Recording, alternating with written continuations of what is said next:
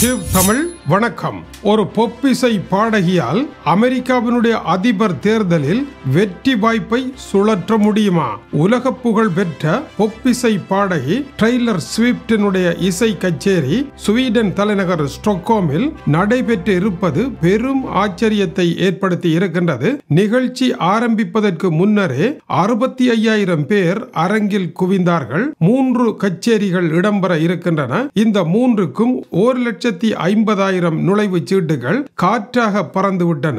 இப்பொழுது இருப்பதற்கே இடமில்லாத அளவிற்கு பெருந்தொகையான மக்கள் வந்திருக்கின்றார்கள். ஸ்வீடன் நோக்கி பல நாடுகளில் இருந்தும் மக்கள் குவிந்திருக்கின்றார்கள். உதாரணமாக ஒவ்வொரு ஐந்து பேரையும் எடுத்தால் நான்கு பேர் ஸ்வீடன் நாட்டவர்கள் அல்ல. டென்மார்க்கில் இருந்து நோர்வேஜியன் ஏர்லைன்ஸ் பதிமூன்று விமானங்கள் புதிதாக விட்டிருக்கின்றன. பறப்பதற்கு ஸ்கண்டினேவியன் ஏர்லைன்ஸ் மேலதிகமாக ஏழு விமானங்களை பறக்க விட்டிருக்கின்றன பேருந்து வண்டிகள் பத்து மடங்கு அதிகமானவர்கள் சென்றிருக்கின்றார்கள். இதுபோல பல நாடுகளில் இருந்து சென்றிருக்கின்றார்கள். அதிகாலை நான்கு மணிக்கே பலர் வரிசையில் நின்றிருக்கின்றார்கள். இரவு ஏழு முப்பது மணிக்கு பின்னர் தான் பாடகி மேடைக்கு வந்தார். அதுவரை அவர்கள் காத்திருந்திருக்கின்றார்கள். இவ்வளவு தூரம் அவருடைய பாடலுக்கு மதிப்பு இருக்கின்றது நாற்பத்தி ஆறு பாடல்களை மூன்று மணி நேரம் பாடியிருக்கின்றார். பல பாடல்கள் ரசிகர்களை மிக கவர்ந்திருப்பதாகவும் பாடல்களுக்கான சீனோகிராபி என்று கூறப்படுகின்ற அரங்க அமைப்பும்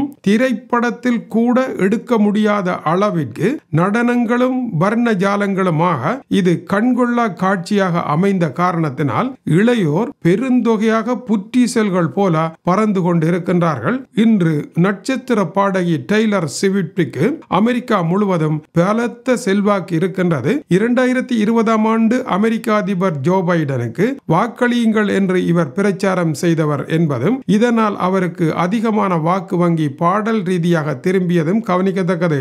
இவரை அமெரிக்க அதிபர் ஜோ பைடனுடைய உளவாளி என்று கூட பலர் கூறுகின்றார்கள். இந்த தடவை தேர்தலிலும் அவர் அமெரிக்க அதிபர் ஜோ பைடனுக்கு வாக்களியுங்கள் என்று சொல்வாராக இருந்தால் அவருக்கு இருக்கின்ற ஜன திரளுக்கு ஜோ பைடனுக்கு வெற்றி வாய்ப்பு மிகப்பெரிய அளவில் திரும்பிவிடும் என்று டொனால்ட் ட்ரம்பினுடைய ரிப்பப்ளிகன் கட்சியினர் பெரும் அச்சத்துடன் இருப்பதாக கூறப்படுகின்றது. இவருடைய பிரச்சாரங்களில் பெண் உரிமை முக்கியமாக பேசப்படுகின்றது. இரண்டாவது ஓரின சேர்க்கை பற்றி பேசப்படுகின்றது. மூன்றாவது சர்வதேச ரீதியாக ஏழைகளினுடைய பிரச்சனை பற்றி பேசப்படுகின்றது. இந்த விடயங்களை இவர் தன்னுடைய பாடல்களிலும் அதேவேளை தன்னுடைய அரசியல் கருத்துக்களிலும் கூறி வருகின்றார். உலகத்தை தன்னுடைய கட்டுப்பாட்டில் கொண்டு வந்த முப்பத்தி ஆறு வயதுடைய ஒரு பொப்பிசை பாடகி அமெரிக்க தேர்தலையே தீர்மானிக்கக்கூடிய அளவிற்கு பிரபலம் பெற்றிருக்கின்றார் என்பதுதான் நம்ப முடியாத ஆனால் மற்றைய பாடகர்கள் சிந்திக்க வேண்டிய ஒன்றாக இருக்கின்றது. யூரோவிசன் பாடல் போட்டிக்கு ஏற்படுத்தப்பட்ட அழகிய நிகழ்ச்சி வடிவமைப்பை எல்லாம்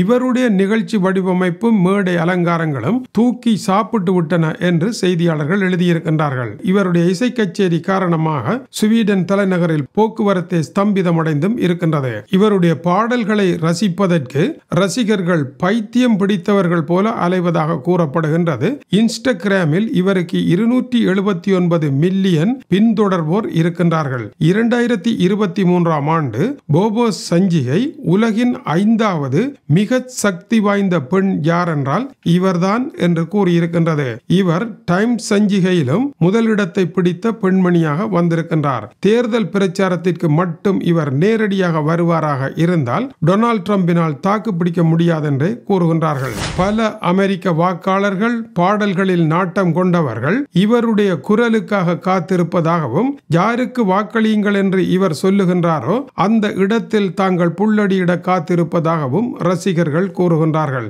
இப்படி உலகத்தின் தலைவிதியை தீர்மானிக்கின்ற வேர்ல்ட் நம்பர் ஒன் என்று கூறப்படுகின்ற அமெரிக்காவின் தலைவிதியை ஒரு பாடகி தீர்மானிக்கின்றார் என்பதுதான் ஒரு கலைஞருக்கு இருக்கின்ற சிறப்பாக இருக்கின்றது. எனவே பாடல்களை பாடினால் எப்படி பிரபலம் அடைய வேண்டும்? அந்த பிரபலத்தை வைத்து மேலும் எப்படி பிரபலம் அடைய வேண்டும் என்பதை இந்த பெண்மணியிடம் கற்றுக்கொள்ள வேண்டி இருக்கின்றது உலக பாடகர்கள் என்பது முக்கிய செய்தியாகும். சென்ற வாரம் மெடோனா தன்னுடைய பாடல்களினால் உலகத்தின் கவனத்தை திசை திருப்பிய பின்னதாக இந்த இளம் பாடகியினுடைய பாடல்கள் உலகத்தை இன்னொரு சுற்று இசைத்தட்டு போல சுழல வைத்திருக்கின்றது. பாடல்களை பாடுவோர் சிந்திக்க வேண்டிய ஒரு செய்தியாக இது இருக்கின்றது. இது டியூப் தமிழனுடைய உலக செய்திகளுக்காக டென்மார்க்கில் இருந்து கீசே துறை. வணக்கம் உறவுகளை.